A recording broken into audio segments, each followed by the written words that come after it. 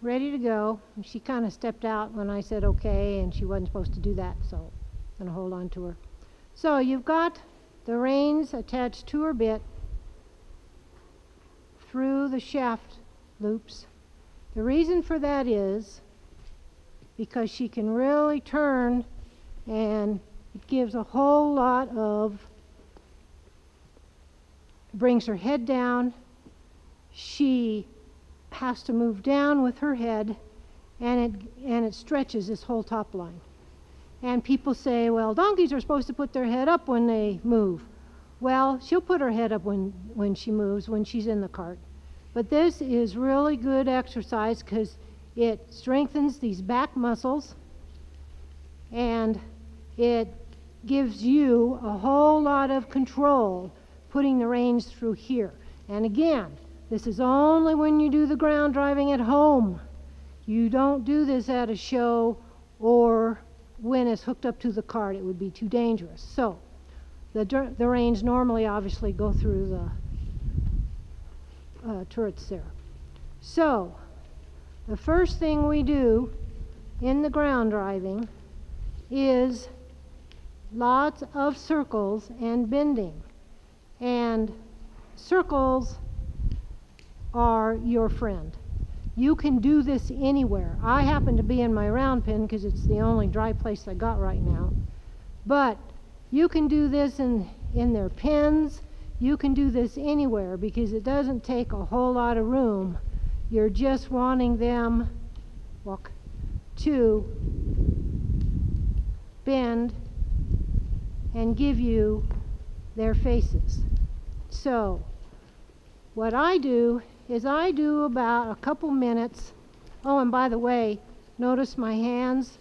I've got the whip here, and I've got the reins, and I am standing more by her side, the back, not right by her side, but right back, because I'll show you why in a minute. Once we get her trotting, you cannot keep up with the donkey trotting.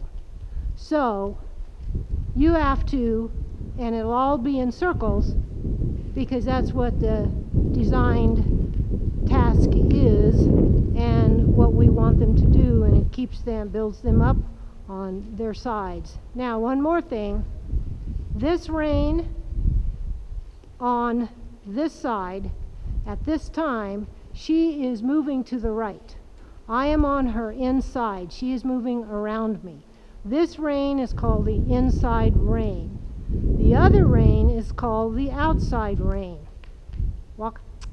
And you always want to keep the outside rein taut also. Don't let it just loop down and not do anything because it has control also of the movement. So when you're driving a cart, you have both hands on the reins and they are both doing their own jobs.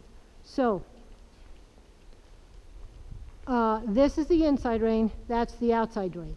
Now, if we switch directions, this rein becomes the inside rein, this one becomes the outside rein, and I move my whip to my right hand where it was in my left hand before. Walk on. So, and you notice that rein, I can't, don't know if you can see it, but it's twisted. So it's nice to get it without the twist in it because believe it or not, she can feel everything I'm doing with my hands. Walk.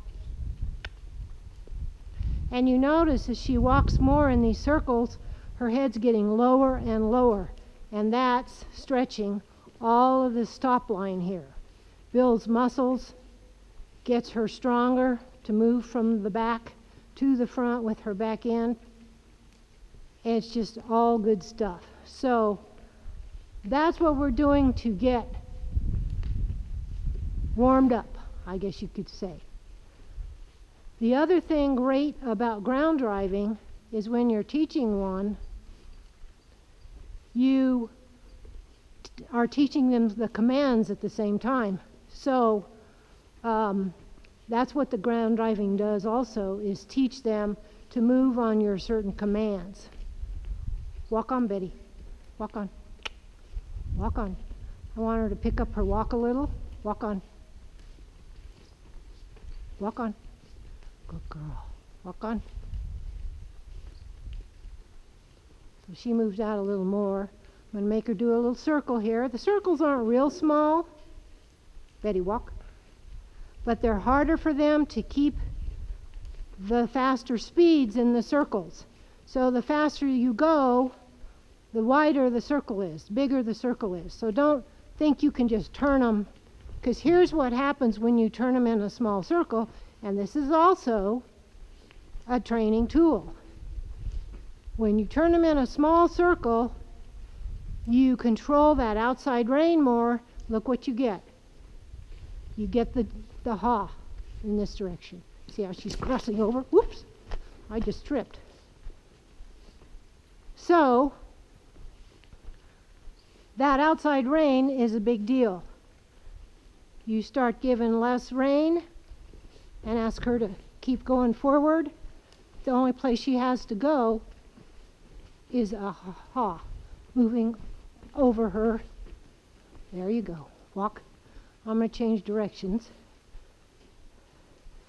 You want to really do your directions evenly so you're not doing one side more than the other.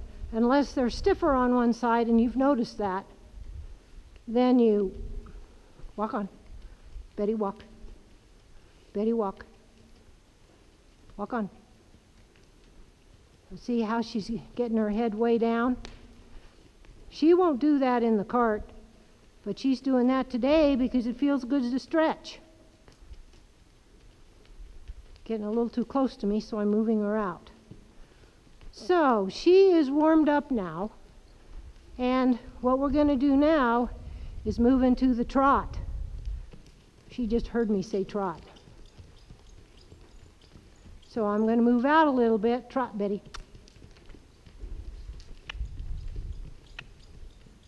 And you notice how I am to the side?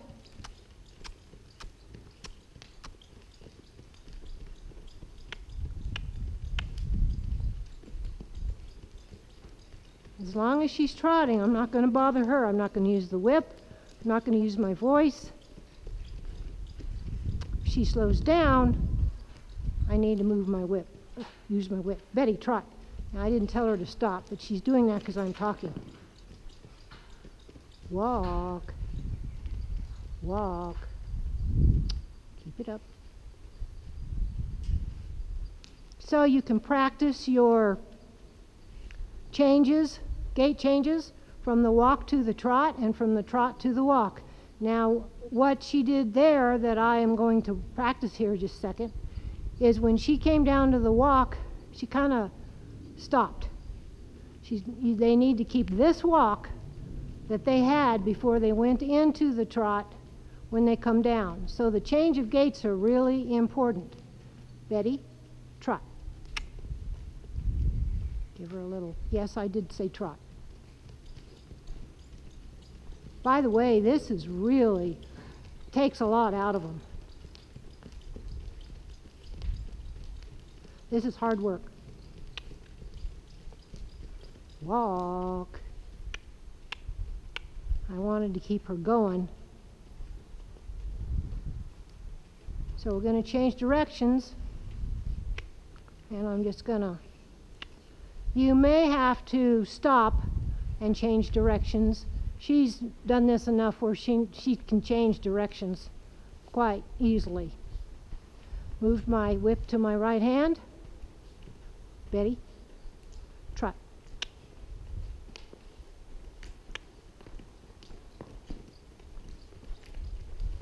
I'm to her right, I mean, I'm to her side. So I am not walking very much. I am taking little steps because I'm too old to follow this fast. So I'm going to let her go straight because I got room in my round pen for a minute and I'm just going to walk with her till I get tired. Then I'm going to bring her in a circle again.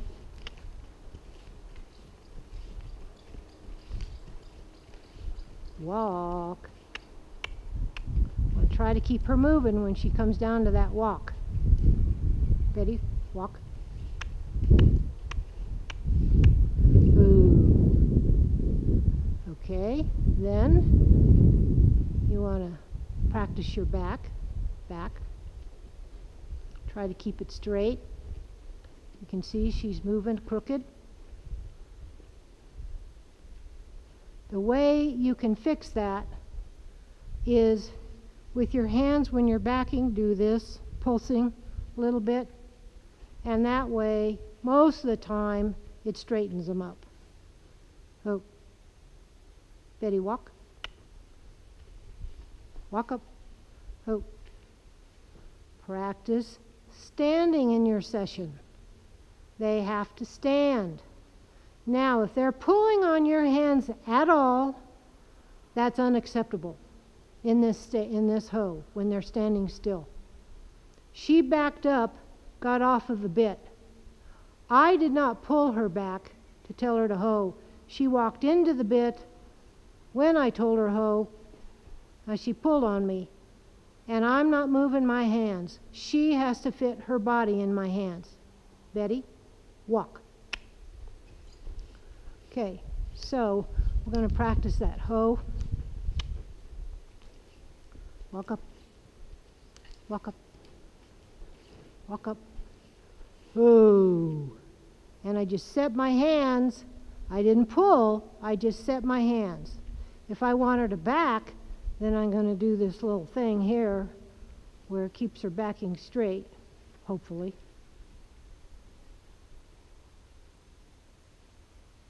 Betty, walk. The things you can come across when you're ground driving them, Betty, walk, is they can spin on you so that they can actually come in around. And the reason that happens is because you don't have enough control on this outside rein. If that happens, it's your problem. you you caused it. They, you let them do that by not having good contact on their mouths especially with this outside rein. Because that's how they do it. They flip in on you. Walk on.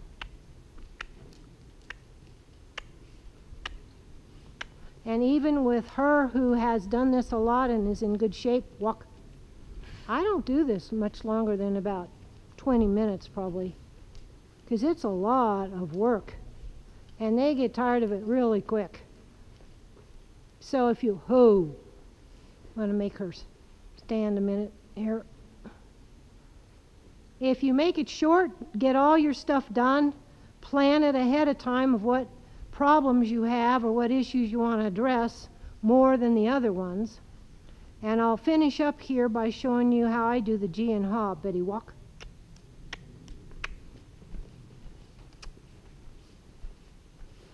Since I'm in my round pen, walk on.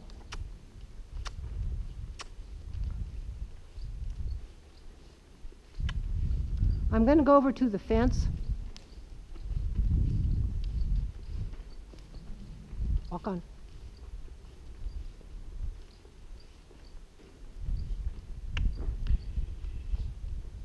Move behind her. Ooh. We're not that close to the fence, but it does give a feeling to the donkey. Now she's trying to doesn't want to stand still, and I'm not moving my hands at all. She's bumping into him, and she has to back off because it's not comfortable for her. She keeps kind of pushing on me. And this is all verbal. Betty, gee. Now I'm just keeping my hands where they were pretty much and not letting her go too forward and she turns around real nice. Walk, walk, Ooh. Now she has to stand here. And if you forget to practice the standing, this is what happens. They don't get used to standing and they get fidgety. They got to know that they have to stand now. I am just standing right where I stopped. If she moves a little to the left or right, ah, that's okay. But she cannot go forward and should not come back. Not moving my hands, just standing here. She fits to me. Okay, we're going to do the haw. And I'm using my whip just in case I need it. Betty haw. My hands aren't pulling. They're just stationary right where she left them, right when we stopped at the stop. Oh.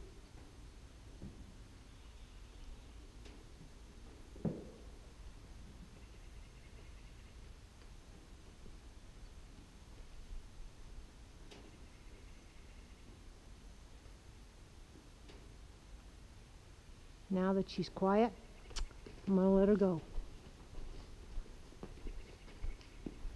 So I'll show you what your goal could be once you get this well under control. And it takes practice from you too to get your hands all right on these reins and stuff. But, Betty, try. I'll show you what you can do. You can go around stuff. Turn them in the trot. That's amazing. If they can do that, and um, any ones that I've trained can, then that's very cool. Most of them quit trotting when they do that because that's hard. So I'm going to do that one again to this, changing to this side because she stopped. She does this one okay.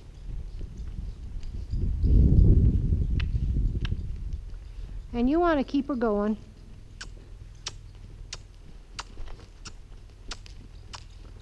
Ooh. Because she did that so well, I'm giving her a reward just to stand here. Now, you never stand with drooped reins, don't forget that. If you just droop them, she doesn't know what you want or where you, what you're doing. You stand here with reins feeling her mouth right where you left them when you stopped. Betty, walk. So,